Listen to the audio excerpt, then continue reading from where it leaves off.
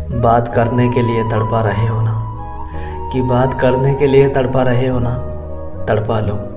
पर याद रखना, एक दिन आवाज़ सुनने को तरसोगे मोहब्बत खूबसूरत होगी किसी और दुनिया में।